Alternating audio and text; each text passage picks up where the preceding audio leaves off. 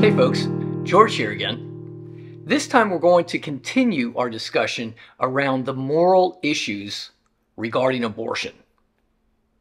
Now we're going to examine a famous article by Judith Jarvis Thomson entitled A Defense of Abortion. She comes at it from a very interesting viewpoint. Uh, last time we discussed the debate whether or not the fetus is a person with moral rights. Judith Jarvis Thomson is going to bring up another point, such that it doesn't matter if the fetus is a person. We'll see how that argument works right now. She starts her article off early by saying, I'm inclined to think also that we shall probably have to agree that the fetus has already become a human person well before birth. Indeed, it comes as a surprise when one first learns how early in its life it begins to acquire human characteristics.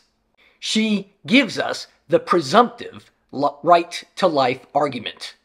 That argument suggests that a fetus is a person. Every person has a right to life, so a fetus has a right to life. And that right to life outweighs a woman's desires about her own body. However, Thomson brings in a now famous example of a violinist. Imagine that while you're asleep, a dying violinist is connected to your body to keep him alive. Must you accept the situation to keep the violinist alive? By the way, this sounds a lot like becoming pregnant as a result of rape. Some pro lifers make exceptions for rape. However, Judith Jarvis Thomson sees that as odd. That seems to suggest that some people have less a right to life, and that is rather unpleasant. When you say, wait a second, I thought a fetus had a right to life. Yeah, but if it's the product of rape, it has less of a right to life? That uh, is rather unpleasant to Thomson and to myself. Let's go back to the uh, extreme pro life view that there shall be no abortions, even to save the mother's life. With that in mind, Thomas says even if the fetus has a right to life, so does the mother.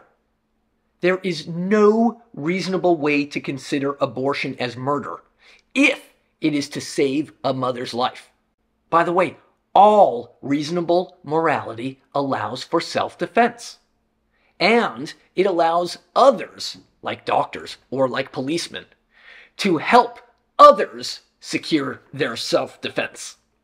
So, in this case, it seems completely absurd to uh, Thomson to say that there are never any exceptions, even for the mother's life. So, with that in mind, let's examine this notion of a right to life, right? What does a right to life not mean? Well, Thomson says it doesn't mean that when I have a right to life, therefore I have a right to do whatever I want to another person's body to keep me alive. Back to her famous violinist example. Clearly, the violinist has a right to life, but the violinist does not have a right to be connected to me. Again, uh, we've talked about this regarding libertarian arguments who suggests that, uh, yes, right to life is a negative right, such that I have a right that you shall not do anything to me, right? Uh, versus positive rights, uh, such that I have a right to something you must give me. Again, if we recall certain libertarian arguments from other discussions, or maybe we will discuss uh, in the future other libertarian arguments, they'll say that there are indeed negative rights but it's the positive rights which are much, much more controversial, right? And that is all that Thomson is suggesting. At the very least, I have negative rights not to be bothered by other people who want to force upon me my duty to save them by connecting to my body, let's say. So then, what does all that mean? Let's figure out what right to life really means. Right to life really means the right to not be killed unjustly. That's what right to life really means. Bringing it back to abortion, like the violinist, the fetus, even if it is a person, let's assume for the sake of this article that it is a person, the fetus has a right to life. But is abortion unjust killing? In the case of rape, obviously the mother has not given the fetus a right to use her body. So, at the very least, uh, so far, Thomson has given us a good argument to suggest why abortion, in the case of rape, shall be allowed.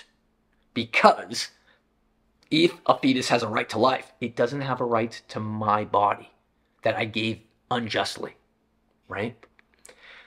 Well, then, uh, fine. A lot of people aren't too happy with that, though, because what kind of pregnancy might a fetus have the right to a mother's body? Well, what if the mother freely chose to have sex, which led to pregnancy, but she didn't want pregnancy? That's an interesting one, right? However, Thomson has a way out of that. She says, wait, if I leave the window open in my home and a burglar comes in, it's absurd to say that the burglar has rights over my property just because I left the window open. And presumably that analogy goes to uh, having sex, but not wanting a baby after having sex. Right? In the same way that just because I leave my door unlocked or my window open, it doesn't mean that the burglar that shows up, that I don't want to show up, has any rights to my property simply because I left the window open. Right? And that's where Thomson is going to go a bit further and say, yeah, the right to abortion is going to be a little bit more broad than merely rape, right?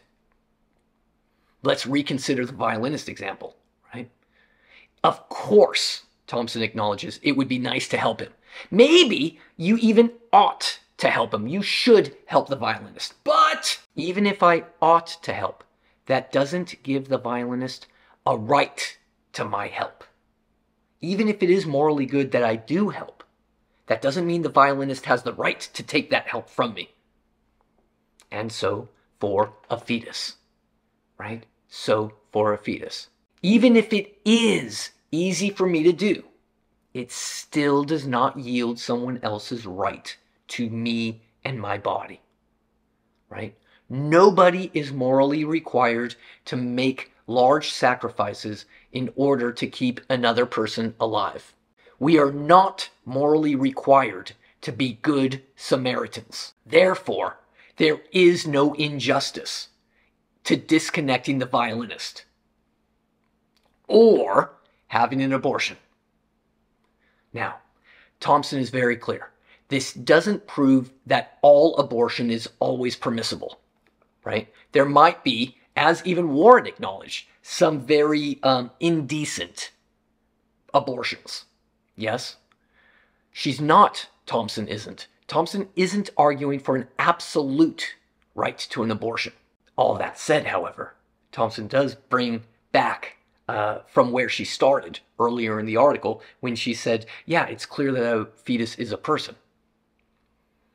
At the end of the article, she says, Yeah, but by the way, we've all just been pretending that a fetus is a person from conception.